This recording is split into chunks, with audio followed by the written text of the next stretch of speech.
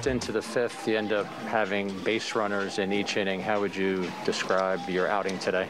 Yeah, um, I felt good. I thought the stuff was fine. Um, got nickel and dimed a little bit. Um, just got some some uh, hits that found holes, um, but I was able to limit the damage a little bit and at least keep us in it enough uh, to give our offense a chance there uh, to, to kind of bust it open. Um, a few things to work on going into next game. I want to get better, just consistently throwing the fastball down and away to righties. But overall, I mean, I thought it was a fine fine outing, um, and I'll clean some things up. You said a few things to work on besides the fastball down and away to righties. Are there other things you're going to try and work on? Yeah, so in the fifth inning, I threw a couple cutters down and away to righties, which I had never done before. So that's something that I'm going to start focusing on going forward. And um, the curveball's missing a little bit low. Uh, they had some great takes on some really competitive curveballs, but just landing that pitch a little more would be big.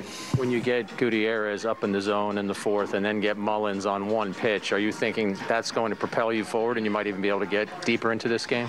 Yeah, yeah, we got some quick outs there, um, and then go out for the fifth and just had some traffic.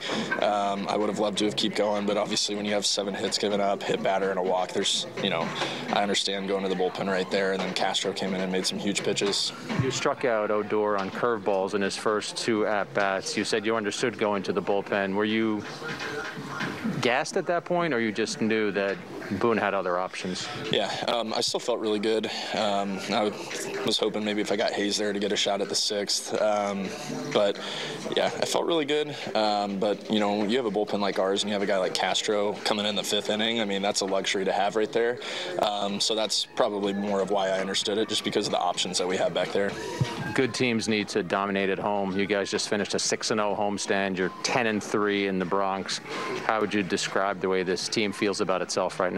Yeah, yeah. I mean, back-to-back sweeps, um, and you know, both teams weren't rolling over or anything like that. I think the offense put up 10 runs in four of the six games, definitely three of the six. Um, we got contributions from everyone up and down, uh, from different guys in the bullpen, from different guys on the rotation. Um, so just a lot of complete efforts, uh, some great defense throughout the series. Um, so, yeah, I mean, I think more than anything, it's that it's coming from all guys on the roster, not just a few. I guess it helps to be on a team like this too when you walk off the mound trailing in the game, thinking that it's not over.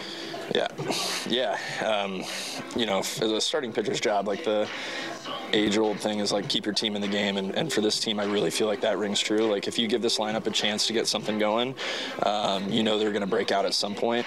Uh, so if I can hold them, you know, one, two, three runs, hopefully start pitching into the sixth and, and go deeper and stuff. But if you keep them one, two, or three runs, like you really have to like your chance to win.